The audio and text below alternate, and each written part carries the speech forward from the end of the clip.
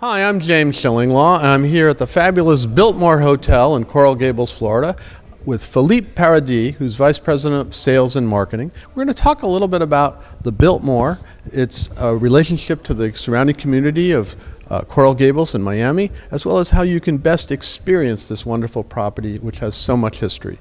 And this is Insider Travel Report.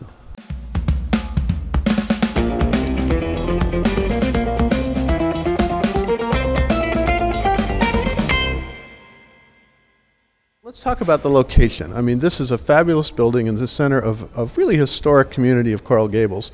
Uh, how does that work? How does the Biltmore work with, with the surrounding community? Well, very well. As you said, I mean, the location is very centrally located in Miami itself. So we're only 10 minutes south from the Miami International Airport. Uh, and actually, surprisingly, the community here of Coral Gables is so actually peaceful, uh, being so close to an airport. Uh, and uh, we provide really a very uh, unique experience experiencing in Miami. Um, Coral Gables is a little bit considered as a little bit very hills of Miami, and uh, I was actually surprised. I have I had not been to Coral Gables until I stay. I'm staying with you, yeah. and and I'm shocked at how much there is to do in Coral Gables, and it's its own little community in itself. And it's not just there are some beautiful houses all around you, but there's also a central downtown with dining and great options, right? Absolutely, and uh, I think actually we offer, as I said, a very unique experience of Miami in comparison to what people expect from Miami in general general. Um, within Coral Gables, I mean, it's a fantastic actually culinary scene, tons of restaurants, uh, fantastic shopping experience as well between downtown Coral Gables or the village of Merrick Park, which is a very nice open air luxury shopping center as well. Only five minutes away from the property. Um, you, if you want to discover architecture, if you want to discover different communities, Coral Gable is the perfect base because you're pretty much 10, 15 minutes away from all the main point of attra attractions of Miami. Mm -hmm. And uh, we're five minutes away from Little Havana, for example. Um, and um, just actually walking around, you have the opportunity, it's a very safe destination. Uh, you can take bicycles, you can walk around, you can really discover a fantastic environment very quickly without going to the other parts of Miami. Now further actually than just Coral Gables, very quickly you can have access to downtown, to Coconut Grove, to Wynwood, which is obviously the big now attraction of Miami with uh, all the uh, new cultural aspect of Wynwood and the Wynwood walls. And um, so uh, it really becomes uh, the main point of attraction for Miami at this point. And obviously with the trend in Miami is changing uh, from the traditional experience in South Beach, I think a lot of people now really try to discover the destination, first because they've been here for so many years. Uh, and they want to see something different. And I think also just because Miami has changed and a lot of different small destinations like ours uh, have uh, emerged in, with, the, with the years and with the development of Miami and with those cultural aspects and artistic uh, scene. Well, such as Art Basel you have coming in every year. Obviously right? Art Basel has been a big boost for the destination and has, has really changed Miami as a destination, not only uh, with, uh, with Wynwood and the design district, but also the emergence now of new museums downtown. I mean, the Perez Museum, the new museum, uh, Science Museum, uh, Frost Museum. We have also, obviously, I mean, over the years, the new uh, symphony downtown uh, in, in Miami Beach. We do have also uh, the Performing Arts Center and have all the operas from the world actually are coming to Miami. So I think you really give a consistency to the destination in terms of culture and art that Miami didn't have maybe 15 years ago. And all this helps, obviously, because of opposition here at the Biltmore, where with um, can provide obviously an easy access to all this scene. Yeah, well, and also you can. It's a great place to experience pre and post cruise.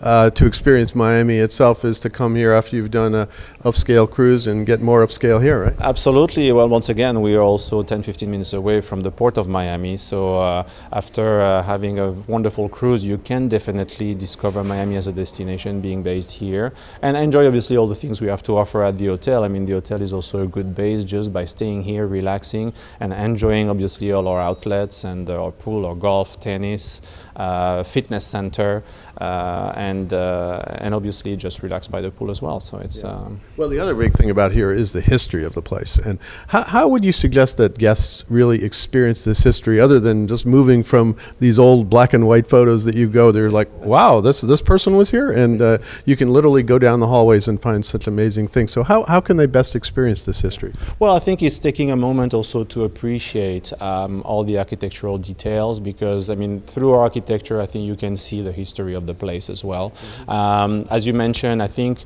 when we did the restoration and the renovation over the past two years of the property, we maintain uh, and we kept all the uh, original photos that we had in this property in all the corridors and everywhere. And uh, what we did is actually to, through the legends that we have on each photo, they tell the story of what happened in this property. And he really kept, I think, the, the soul of what happened in the Biltmore.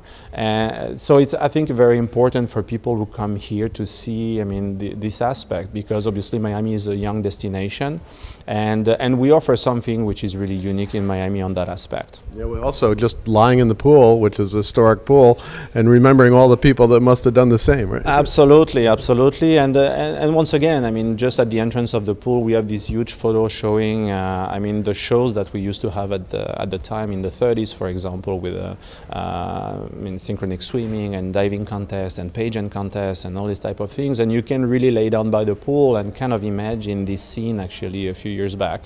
Uh, and uh, I think it makes it really special when you stay at the Biltmore. And also, you also can uh, organize a stay not beyond the history, but to maybe like with wellness, maybe with multi generational, uh, a lot of different themes that you could organize for people, right? Absolutely.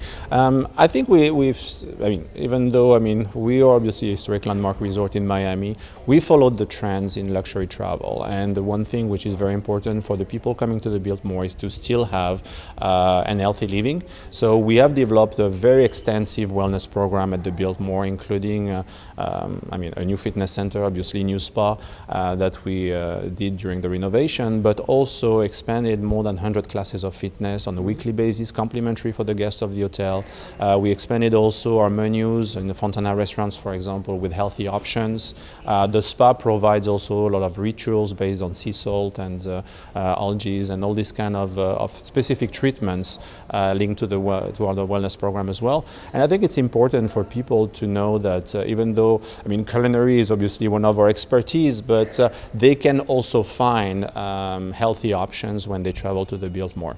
Uh, you were talking about multi-generational also travel. It's very important for us because obviously uh, we've seen a lot of our clients, we have a lot of repeat clients, and they came when they were younger as a couple, then they came back with their family when they got married and got kids. Now they come back because actually their grandparents and they bring the rest of the, the, the family with them. So it's, it's very nice for us to see this multi-generational travel coming back to the Biltmore, where really people come here to enjoy as a family. I mean, a lot of hotels have kids clubs and all these type of things. Um, and, and we realized actually very early on that for us, I mean, people have a different purpose when they come here. They don't want just to leave actually the children at the kids club and do their own thing. They really want to enjoy as a family all the things we have to offer on property. And I think that's something we, we, we try to cultivate with the Culinary Academy, for example, where we propose classes for families together um, and we include pastry uh, classes for children and the parents can jump in. Uh, so we try to to, work on this type of, uh, of activities for them. Uh, and I think it's important for family to come back to us. Well, Philippe, anything else you'd like to tell travel advisors about how to best experience uh, the Biltmore for their clients? Well, uh, I think we touched on most of the different points. I think the, the Biltmore, as I said, for, provides still nowadays a unique experience in Miami um, because of uh, who we are in terms of history, in terms of design, in terms of location, uh, but also in terms of the, our philosophy overall, in terms of authenticity that we provide, and the service we provide on property. Uh, we, I like to say that we're very European, so we really offer a Mediterranean getaway uh, for the American clientele. And uh, as I said, we have uh, uh, traditional English tea, we have Italian restaurants, French restaurants, we have, I mean, a lot of kind of things that you don't find anywhere else. And I think it's interesting to come to the Biltmore and have a really different experience of Miami. Well, Philippe, thank you for taking the time to tell us more about the Biltmore. We did an earlier interview, you may have seen, about the physical plant. Uh, and now, after a wonderful stay, I want to thank you for that stay. It was an amazing stay. Uh, you got great culinary. It was wonderful to just lie out by the pool and remember all the things that must have gone on here since the 1920s. And again, thanks so much. Well, it was my pleasure. Thank you very much for having me, James. It was a pleasure to welcome you. I'm James Shillinglaw, and this is Insider Travel Report.